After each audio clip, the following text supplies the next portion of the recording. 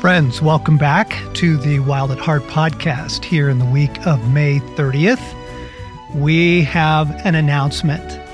Yeah, some really exciting news. We are on the precipice of something I think listeners are going to be just blown away by. We're really, really stoked. Next week, my new book, Resilient, launches into the world. And we feel very, very deeply, very strongly from the Spirit of God that this message is for this moment. Absolutely. And what we want to do is something special instead of just talk about it, right? Yeah. Yeah. You can talk about a gift or you can give the gift. We're just going to play chapter one this week. We want to introduce you to the, the content and over the next several weeks, share with you some of the precious, precious gifts in this book. So here we go. Okay, before we start chapter one, I want to tell you a story. I've entitled it Living Water. In 1946, Wilfrid Thesiger made an impossible trek across the desolate, empty quarter of Arabia with four Bedouins, journeying in winter on camelback. But they reached a desperate point in their odyssey when the odds looked really grim. They were nearly out of water. The next well was beyond an impassable mountain range of dunes, and their camels were showing signs of collapsing. Here's what he wrote in his journal All the skins were sweating, and we were worried about our water. There had been a regular and ominous drip from them throughout the day, a drop falling to the sand as we rode along like blood dripping from a wound that could not be staunched. I suppose I was weak from hunger, for the food which we ate was a starvation ration even by Bedouin standards, but my thirst troubled me most. I was always conscious of it. Even when I was asleep, I dreamt of racing streams of ice cold water but it was difficult to get to sleep. I worried about the water which I had watched dripping away onto the sand and about the state of our camels. The survivor's first need is water. You can live 40 days without food, but only three without water. Water is life. Finding water is one of your first objectives. Chapter 1 I just want life to be good again. Restore the sparkle to my eyes. Psalm 13:3. The longing for things to be good again is one of the deepest yearnings of the human heart. It has slumbered in the depths of our souls ever since we lost our true home. For our hearts remember Eden. Now, most of the time, this beautiful, powerful longing flows like an underground river below the surface of our awareness. So long as we are consoled by some measure of goodness in our lives, while we're enjoying our work, our family, our adventures, or the little pleasures of this world, the longing for things to be good again seems to be placated.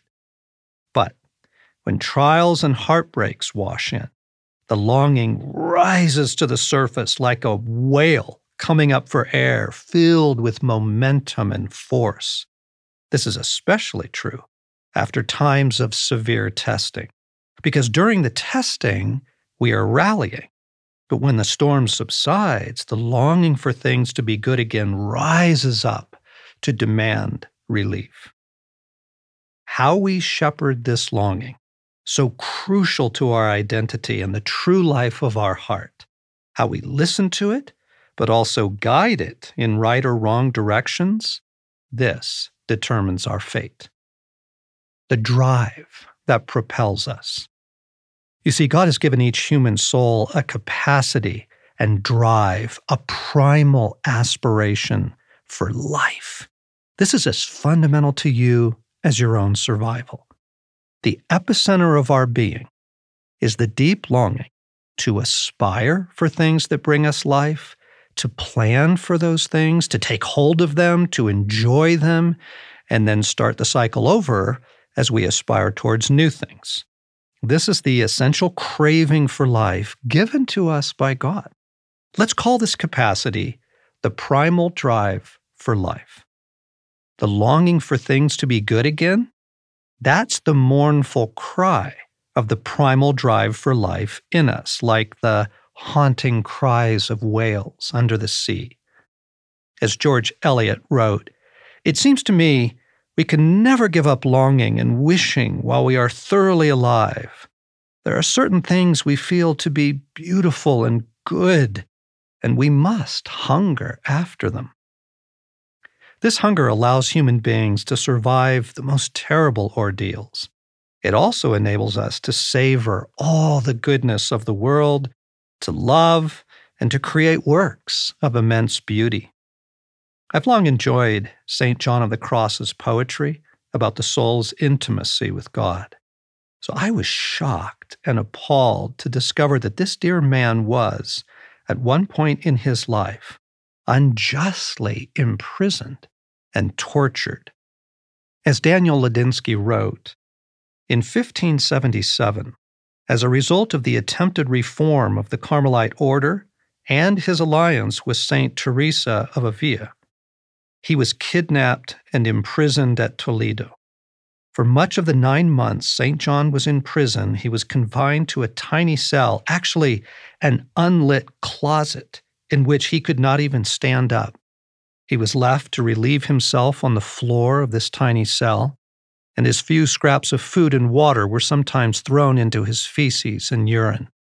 On a regular basis, he was brought from his cell in order to be beaten, to the extent that he became permanently crippled. He was not given a change of clothes or allowed to wash for months. He became infested with lice and dysentery. He was forced to sleep upon his own excrement. But it was during this period of debased confinement and torture that he miraculously composed some of his greatest poetry. St. John prevailed and brought enormous beauty to the world from his ordeals.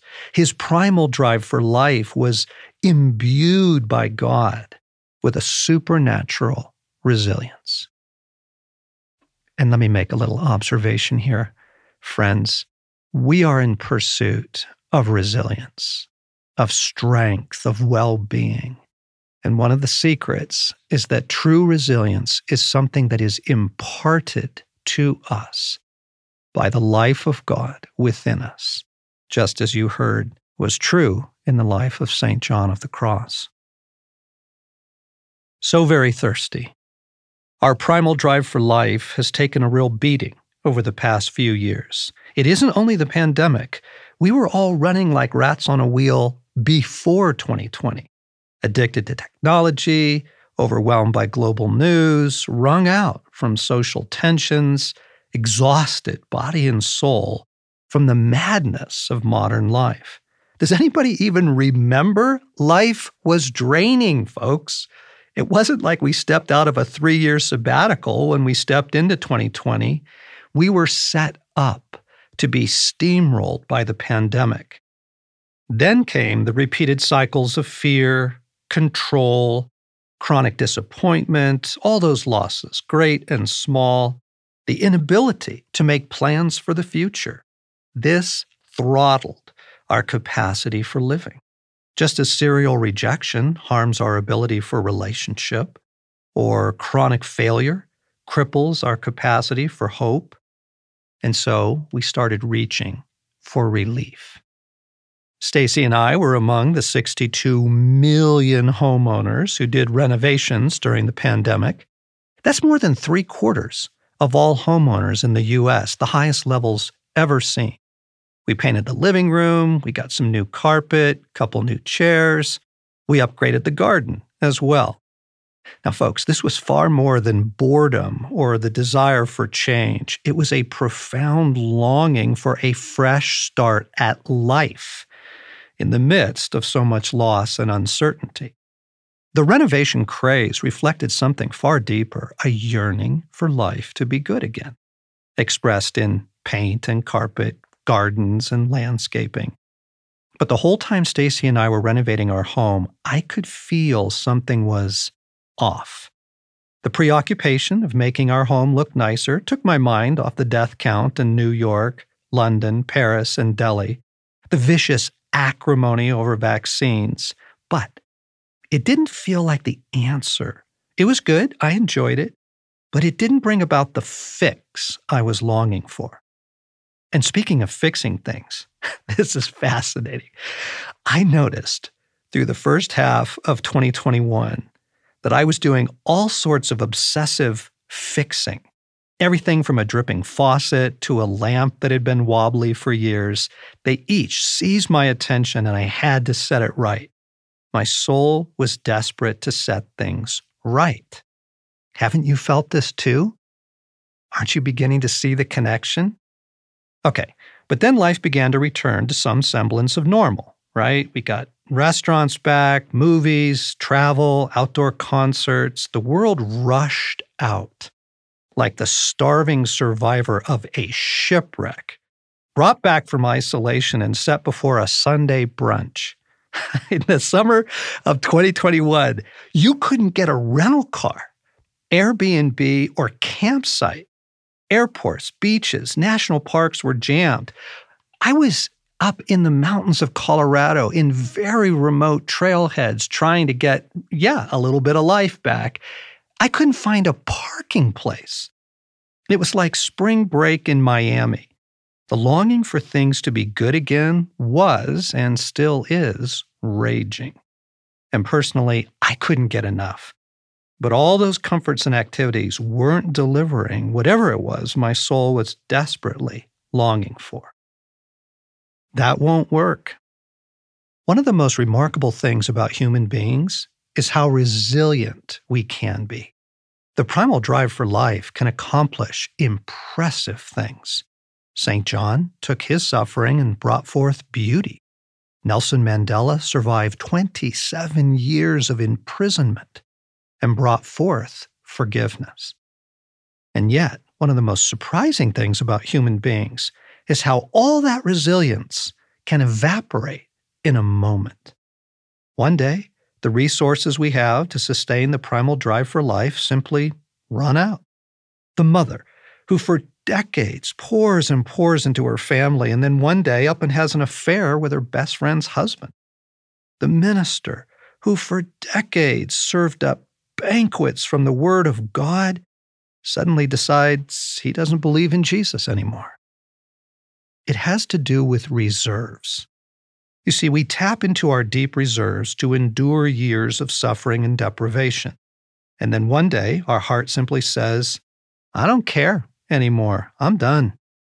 We abandon the fight and go off to find relief. I think this is what's happening now on a global scale. You see, human beings are at the same time both resilient and unpredictably fragile, like camels. A better test for how vulnerable we may actually be is to check on our reserves. For we can rally, and we have rallied. Way to go, everybody. Way to go. You did. But every time you rally, you tap into your reserves. And though you might feel like you're doing pretty well on any given day, you're still burning through precious resources, and your reserve tank is precariously low, like the drip, drip, dripping of the water bags of Wilfrid Thesiger's party way out in the middle of the desert. This is the trauma cycle. We rally in the face of harm, and when the harm subsides, we live in denial of it and go off in search of some taste of Eden. When our efforts are thwarted, things like rage and despair surface, which are common to trauma responses. This is why rallying can actually be deceptive. Reserves tell the true story. So during the early stages of the pandemic, I circled up my little staff of 18 wonderful saints, all working online, right? Everybody's working online. I wanted to check on their well being. So I asked them some questions about resilience. How is your operating strength these days? If you're normally functioning at 100%, what are you functioning at now? Their answers hovered around 30%. Most days, they were feeling about 30% of their normal strength. This is what trauma does. Now, tell me about your reserves. If a major crisis were to hit tomorrow, what sort of reserves do you have available? Their answers averaged about 15%. And this is a very resilient and mature group of people. Okay, so I asked them the same questions one year later, late in 2021. Though things had somewhat improved, they were not reporting soaring scores. And so I want to ask you how about your own reserves? Have you even assessed them? Allow me to ask you a couple of questions. If another pandemic were to sweep across the globe next week, some brand new deadly threat, and we all found ourselves back to quarantines, living under the vague threat of suffering and death, living in a state of constant uncertainty about the future with no clear finish line? How does your heart respond to that? Or what if the economy collapses? What if by the time you're hearing this audiobook, the impending recessions and supply shortages and all that stuff, what if the economy reels, breaks, fractures? Do you have the reserves to handle years of that? Or try this on. Your house or apartment is going to burn down tomorrow. And though everyone will survive, you'll lose everything else all your belongings, your records, valuable documents, precious family keepsakes, all of it. You will need to rebuild your entire life. Do you have 100% Vim and Verve for that scenario? Like I said, we've not yet paid the psychological bill for the COVID 19 pandemic. We tap deep into our reserves to rally, and we are in no condition to face more trauma let alone the assaults of our enemy. Trauma sensitizes you to more trauma and brings to the surface past trauma. You don't get used to it. Each new crisis simply piles on the stress. Okay, so here's a fascinating thing. In my world of therapists and counselor friends, both in the US and overseas, I do not know a single therapist that has an opening right now. And not only that, their wait lists are four months, six months, eight months. I've read some articles saying that that's pretty widely true across the board. So, you know, everybody rallied, everybody came through, we did our best, educated your kids at home, you worked from the kitchen table on Zoom, all that stuff, or you didn't have work. And now when things seem to be maybe getting back to some semblance of normalcy and thank god for all the goodness that is back the problem is is that now the soul is demanding care. And recent trauma surfaces past trauma. Okay so each new crisis simply piles on the stress. The treacherous thing about human nature is that the primal drive for life is so compelling, we will sacrifice almost anything for it our health, marriages, careers, even our faith. After a time of global trauma and deprivation, the longing rages, so we wander off in search for life. But reckless wandering without a clear plan or destination often adds to our suffering rather than bringing relief. I was reading the story about when John Wesley Powell made the first descent of the Colorado River, which was uncharted at the time through the Grand Canyon in 1869, he and his colleagues had no idea what kind of test was in store for them. Wild rapids, unexpected falls, swirling pools that threatened to devour their wooden boats. They didn't have, you know, rubber whitewater rafts and whitewater rafting gear, okay? After weeks of this, several of the crew mutinied. Against all warnings, they left the river and tried to find an exit out of the canyon through Apache lands. And those men were never heard from again.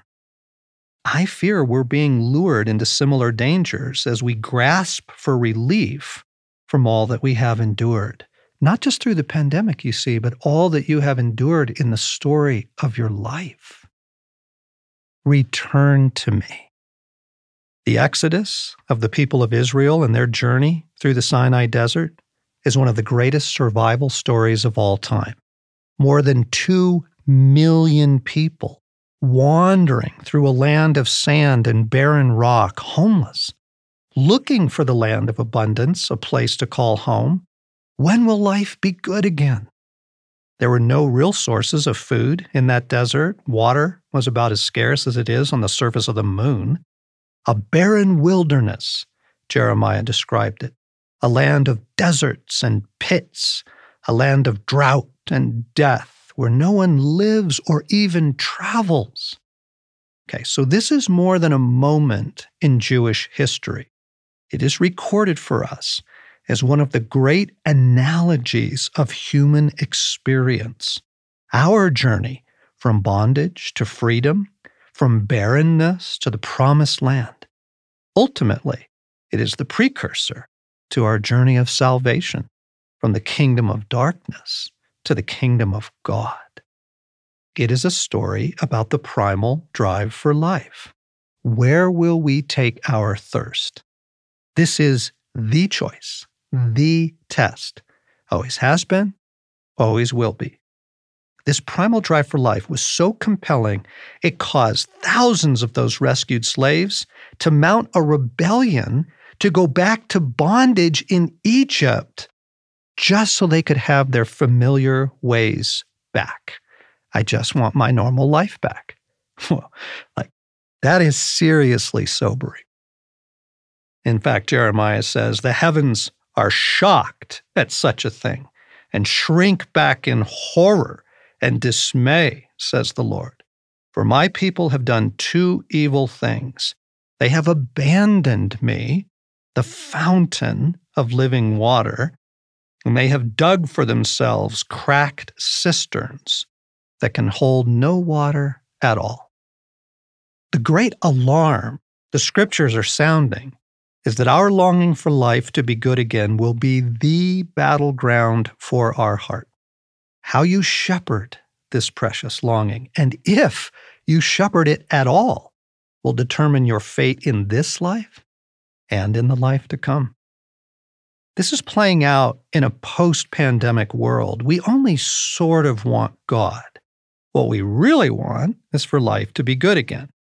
If God seems to be helping, awesome we believe. If he doesn't, well, that's where the crisis of heart is taking place right now. That's where many, many people are either saying, yeah, you know, God, all that, I'll get back to that later, or just walking away, period, from their faith, feeling betrayed and abandoned by God. So, this is the first stage of the coming storm that I'm talking about. We've all run off to find life and joy following years of stress, trauma, and deprivation. Okay, totally understandable, but it isn't working.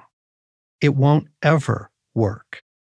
We return to our normal Monday through Friday disappointed, and disappointment soon becomes disillusionment. And disillusionment makes us extremely vulnerable to our enemy we must lovingly shepherd our famished thirst back to the source of life, the river of life. My longtime friend and publisher Brian Hampton used to tell me, put the cookies on the bottom shelf. By which he meant, don't make folks wait until the end of the book to get the help you're offering. Fair enough. Let me give you something right now that will prove enormously helpful. And your appreciation for it will grow as we go on, I promise.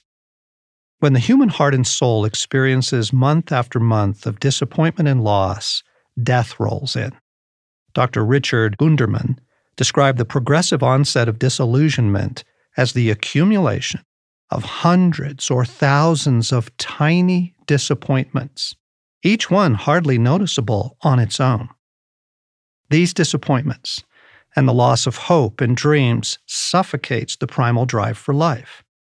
But God has provision for us. Now, I know, I know. Most of you think that what you need right now is three months off at the coast walking on the beach, drinks on the deck, and with all my heart, I hope you find that. But for most of us, a sabbatical in some gorgeous refuge is probably not available. What is available is the river of life, God Himself, in ways that we have not yet tapped into. God wants to make His life available to you. Remember, He's the creator of those beautiful places you wish you could go right now and take a sabbatical. All that beauty and resilience, all that life comes from God. And He wants to impart a greater measure of Himself to you. The life of God is described in Scripture as a river, a powerful, gorgeous, unceasing, ever renewing, ever flowing river. Ezekiel was given a number of beautiful visions, glimpses into the kingdom of God that permeates this world. He saw the temple of God in Jerusalem, and out of the temple was flowing the river of life. As it flowed forth across the countryside, it became so deep and wide, it wasn't possible to swim across it. An image of abundance. I love how the passage ends where the river flows, everything will live. That's Ezekiel 47 9. Everything will live. This is what we want to live, to find life in its fullness again. The Apostle John was given a revelation of the coming kingdom and the restored earth, and he saw the river of life flowing right down the middle of the city of God. And then the angel showed me the river of the water of life, as clear as crystal, flowing from the throne of God and of the Lamb down the middle of the great street of the city. On each side of the river stood the tree of life, bearing twelve crops of fruit, yielding its fruit every month. And the leaves of the tree are for the healing of the nations. That's Revelation chapter 22, verses 1 and 2. There is so much life flowing from God that it flows like a mighty river. Isn't that marvelous? Okay, follow me now. The river of life is not just for later. Jesus stated clearly that the river is meant to flow out of our inner being right here, right now, in this life. Let anyone who is thirsty come to me and drink, he said. Whoever believes in me, as scripture has said, rivers of living water will flow from within them. John 7, 37 and 38. The mighty life of God flowing in you and through you, saturating you like a river. Okay, so let me pull all this together. We have a capacity and drive in us for living. It's a precious longing and it's taken a beating. God is the fountain of life. There is so much life flowing from God that it flows like a river no one can even swim across, a superabundant outflow of life. And this life is meant to flow in us and through us. Okay, so at the end of each chapter, what we're going to do is shift gears for a moment. These sections are entitled Skill, and this one is Receiving the River of Life. And what we're able to do is to tap into the presence of God and the river of life through prayer. So, you know, if you're driving along in your car right now, you, will be fine. You can you can pray through this. Just don't close your eyes. if you're uh, in a busy place that's kind of noisy and crowded right now, you might want to pause and get into a quiet place where you can have just a few moments to really enter into this. I mean, if, if your house is chaotic right now, like go into the bathroom or into the closet and shut the door. That's what I would do. Okay. So, what I want to do is guide you into a very simple prayer and an encounter. In order to tap into the river of life, we begin by loving God in our longing for life to be good again. That's where things are decided in this precious longing. Now, nearly all of us have been chasing relief in a myriad of hopes, plans, dreams without first really turning to God. So, what we need to do is enter this longing, feel it, become present to it, and in that place, start loving God. Okay, we choose Him. Our first step towards resilience is to return our primal drive for life and our longing for things to be good again to God. We come back to Jesus from all the other places we've been chasing life. We allow Him to be our rescuer right here in the longing for life to be good again. And we ask God to fill us with the river of life. Okay, so let's settle into this and pray. Jesus. Jesus. I come back to you now in my longing for life to be good again. And, and, folks, just begin to locate that longing, kind of settle into this and go, yeah, where is that longing in me for life? It might be in the hope of a vacation right now. It might be that life is wonderful and the longing is expressed in your hope that it doesn't end, doesn't stop being good. Just settle in, find that longing. Jesus, I come back to you now in my longing for life to be good again. And I love you here, Lord, in my soul's heartache. I consecrate to you my primal drive for life.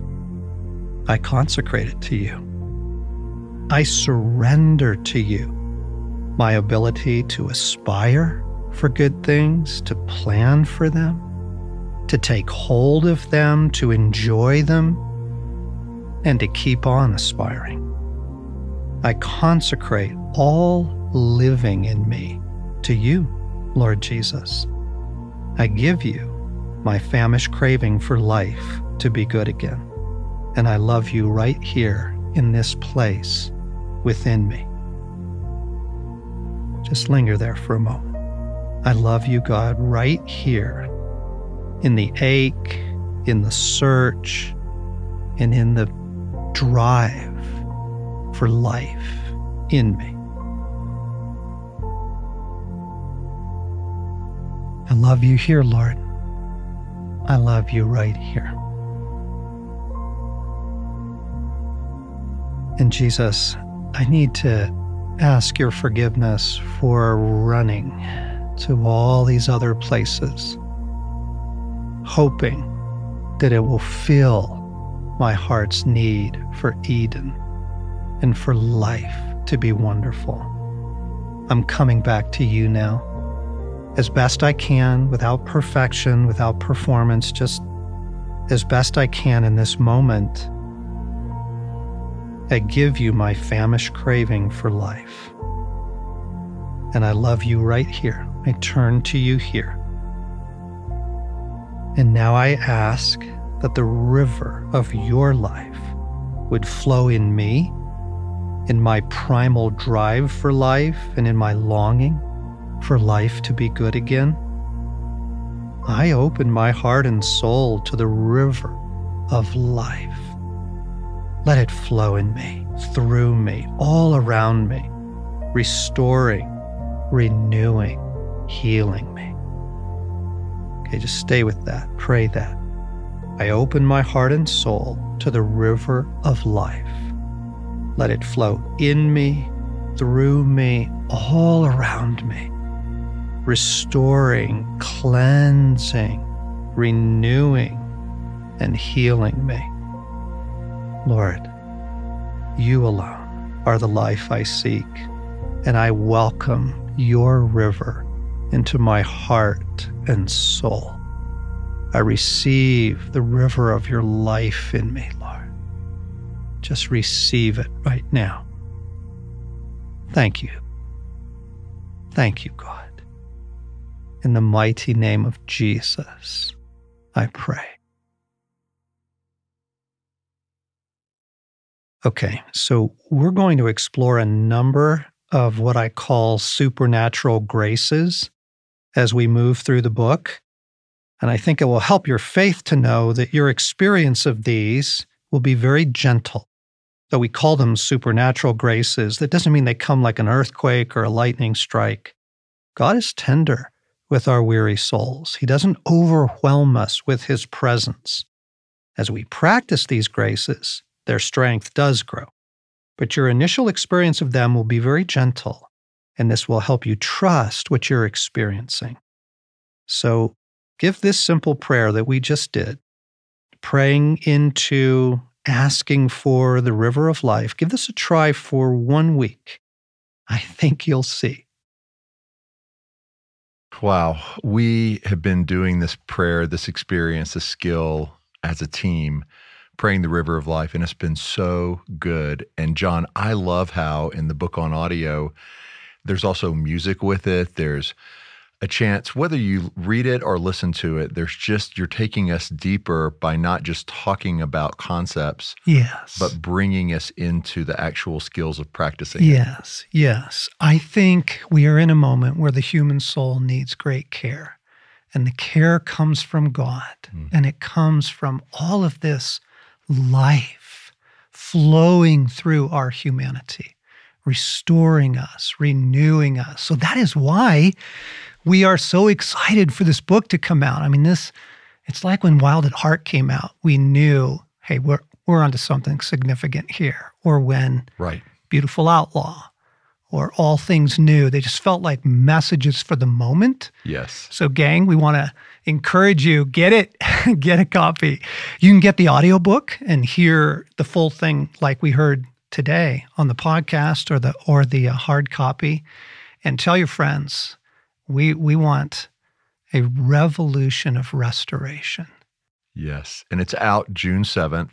Order it now and you'll have it on June 7th. Yeah. And we can't wait to stay on this journey over the next several weeks with you.